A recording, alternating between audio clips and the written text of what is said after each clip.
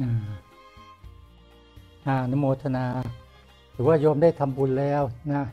จริงๆแล้วเนี่ยปัจจัยเนี่ยไม่ใช่เงินนะ ปัจจัยก็คืออาหารเครื่องนุ่งห่มที่อยู่อาศัยยารักษาโรคเนี่ยเงินไม่ใช่ปัจจัยนะ เงินคือของบาดใจนะอาตมาไม่ได้รับเงินนะรับเฉพาะพวกอาหารโดยเฉพาะอาหารมังสวิรัต อาหารพืชผักผลไม้ หรืออาหารเรียบง่าย ที่ไม่มีเนื้อสัตว์นะเพราะครูบาไม่ส่งเสริมการฆ่าสัตว์การเบียดเบียนสัตว์ แล้วก็ไม่ได้รับเงินนะสามารถพึ่งตนเองได้นะด้วย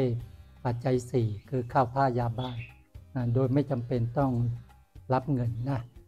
แต่โยมตั้งใจก็ถือว่าเป็นบุญแล้วอาตมาก็ฝากให้โยมเป็นกวนถุงนะนะโยมก็เก็บไว้